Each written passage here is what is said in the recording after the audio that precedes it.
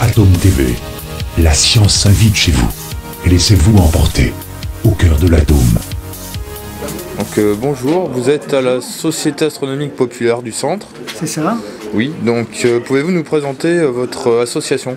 Oui, C'est une, une association d'astronomes amateurs qui a été créée en 1986 à l'occasion du, du passage de la comète du Halley et qui fonctionne maintenant euh, depuis euh, une quinzaine d'années à l'observatoire d'Arcé qui se trouve euh, Arcé c'est un petit village qui se trouve à une vingtaine de kilomètres de Bourges Euh, L'association a acheté un, ancien château d'eau qui avait été désaffecté et a fait construire sur le haut un observatoire. Et depuis, euh, eh bien, nous faisons nos, observations euh, à Arcé ainsi que les, animations diverses. euh. On fait aussi des animations pour, pour les communes et on participe à toutes les activités proches, de, proches des sciences, comme la fête de la science aujourd'hui, mais aussi en, août, à la nuit des étoiles, et puis à d'autres manifestations nationales de ce type-là.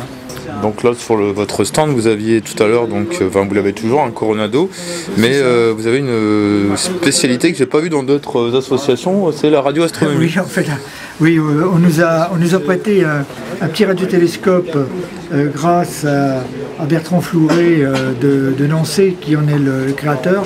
Ce radiotélescope s'appelle Lucie et il est fabriqué, alors on peut peut-être le regarder, avec des, des moyens très simples, c'est-à-dire euh, une, une antenne satellite, euh, un, système de, réception et puis euh, on l'a installé sur euh, un pied pour pouvoir faire euh, du réglage dans, diverses directions. Avec un système de, pointage puisque euh, on a une réflexion ici euh, euh, sur la parabole. Et euh, là on est à 11 euh, GHz, c'est-à-dire euh, à euh, 2,7 cm de longueur d'onde. Et ce système-là nous permet, avec ici un, système de, détec- de détection et puis un, renvoi sur l'ordinateur avec un, un transformateur euh, analogique euh, euh, numérique et on, peut obtenir ici sur l'ordinateur le passage de, l'image du soleil. Voilà, en voilà un par exemple. On voit très très bien la courbe en cloche. Voilà. Et puis ici, ça c'est le, bruit du sol. Alors en comparant le, maximum ici et le, bruit du sol, on pourrait éventuellement déterminer la température euh, de la couche qui nous envoie ces rayonnements à 2,7 cm de longueur d'onde.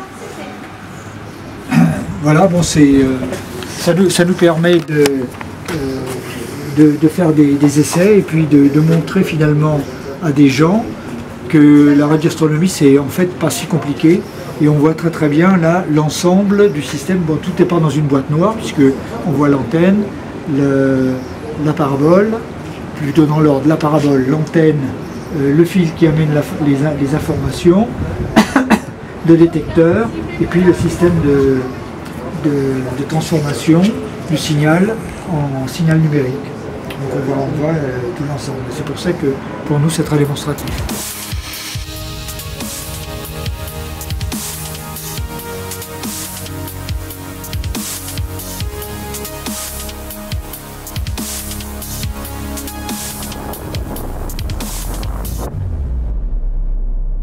TV.